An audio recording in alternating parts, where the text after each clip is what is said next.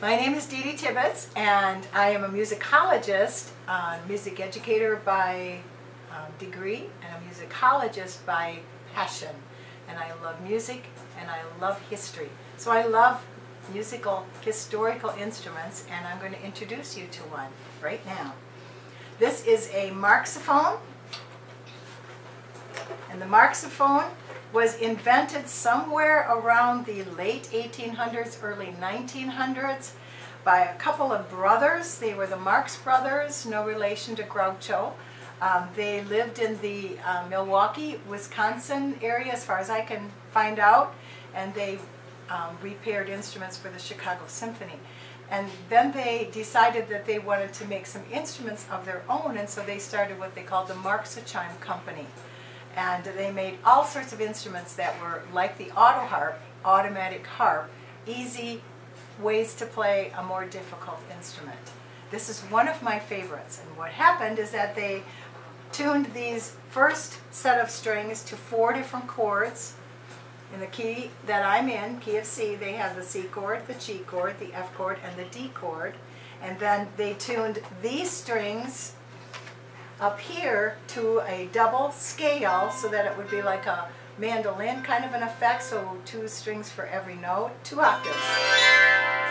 And then they got corset stay material and little lead hammers and they put them together and this is not probably just for advertising but it was also a buffer for the hammers when they came back and slapped um, backwards this way. And the cool thing about the Marxophone is that you can play it the way it was intended to play, and then you can play it my way. So, here we go. I want to show you a little bit about, uh, this would have come with it. They would have sent several of these cards along with the instrument. Usually they were sold door to door, and they would be making contracts for one contract that I have personally for a ukulele is 450 down and 450 a month until the $35 was paid. Um, I'm not sure how else they would have sold them. Probably cash was good.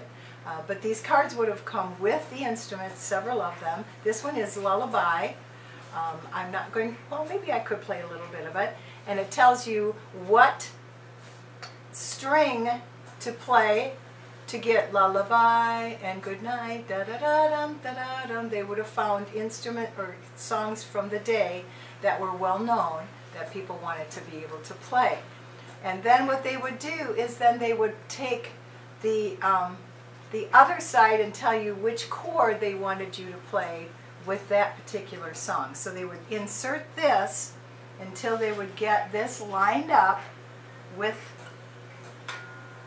until they would get this lined up with the chords and the, and the notes so that you would know exactly which one to start with.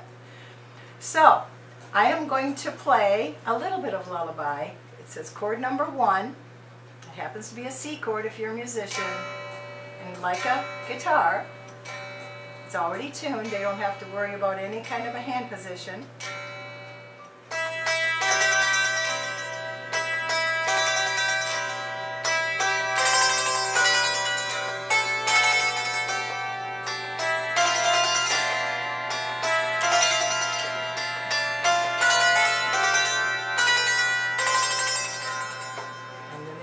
Exactly which string to push down on and which chord to play.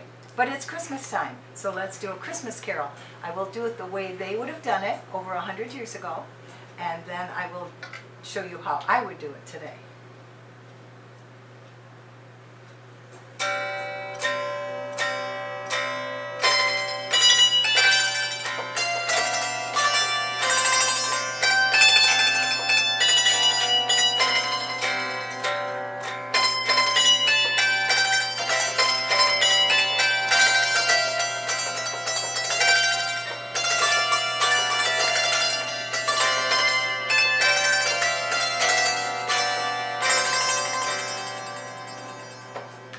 Would put the pick away and I would just be able to use both hands then playing some kind of harmony with both of my hands. And this is how I would play it. Joy to the world.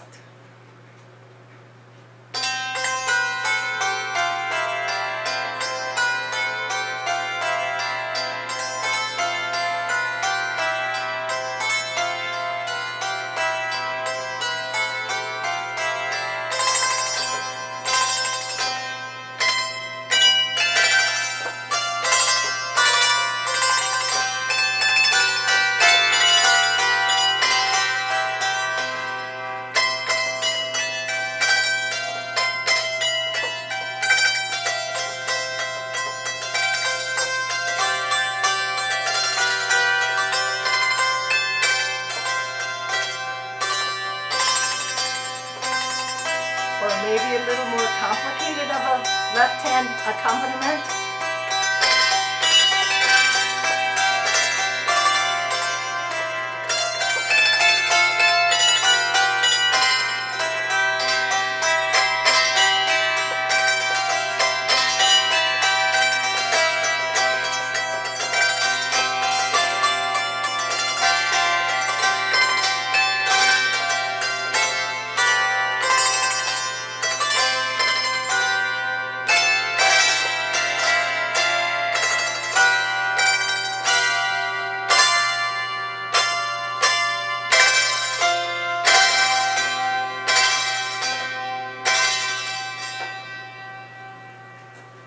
Christmas.